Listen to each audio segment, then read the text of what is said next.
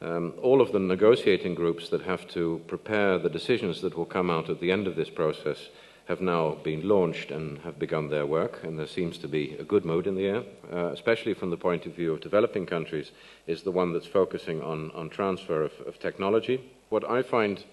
interesting is that not just governments have come here in order to engage in this technology debate, but that also the, the private sector has come here to engage in that debate and also has come here very much to offer solutions. The reports that the IPCC finalized very recently have been um, presented and taken up in the subsidiary body on scientific and technological uh, advice, and there's been an interesting suggestion that perhaps the IPCC should be asked to update those reports in 2009 when the negotiations are expected to end, so that in a way you, we have the reports now as very much uh, a, a, pushing factor behind the launch of negotiations, and that you would then have updated information at that moment in time when the negotiations are expected to be uh, completed.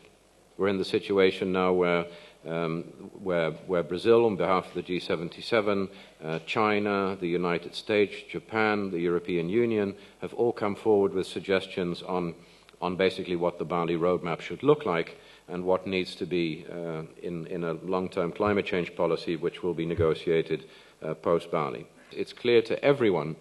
that industrialized countries will have to continue to take the lead. And in fact, in a, in a meeting preceding this,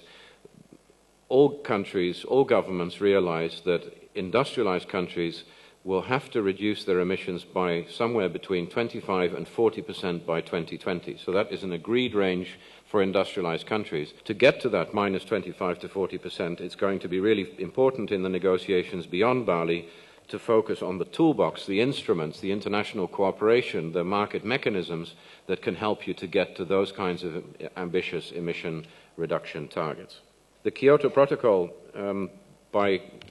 by putting a price on carbon, has created a unique uh, environmental commodity on the international market. Um, trade in emissions or the carbon market as we, as we know it today is already worth in total about $30 billion, so $30 billion a year, $30 billion in 2006.